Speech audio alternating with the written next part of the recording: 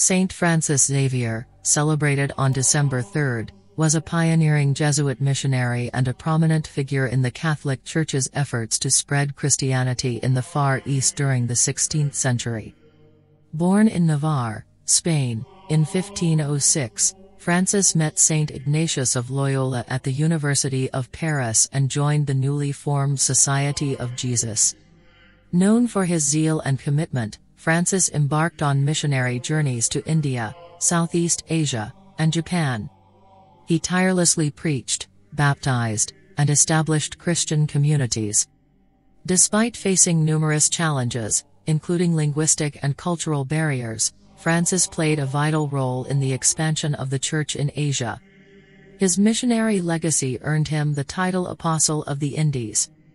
His feast day is a reminder of the Church's mission to proclaim the gospel to all corners of the world.